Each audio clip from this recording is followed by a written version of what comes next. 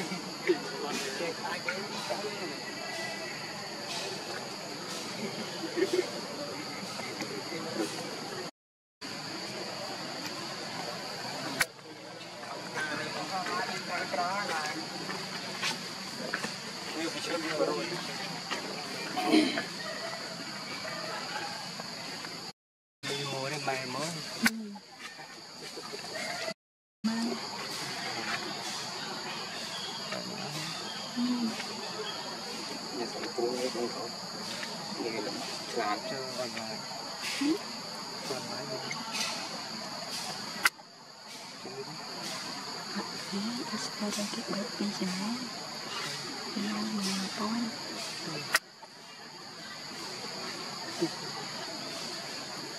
setelah ini setelah ini Đâu nó đặt đi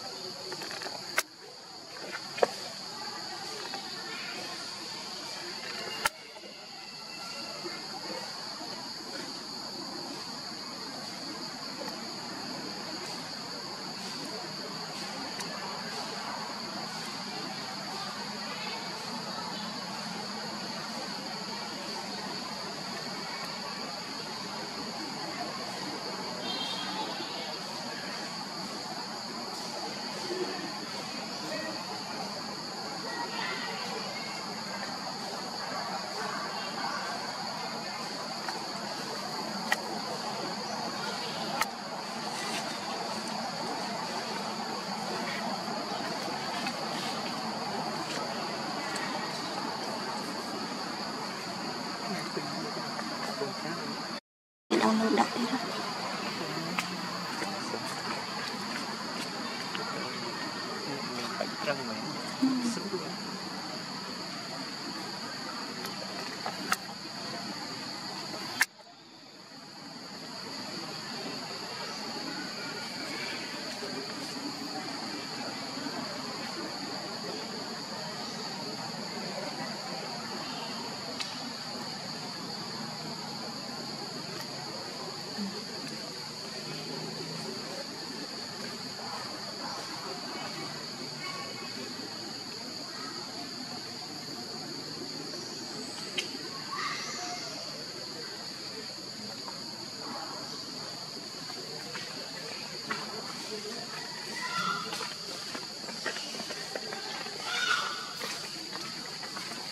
Vamos compartilhar.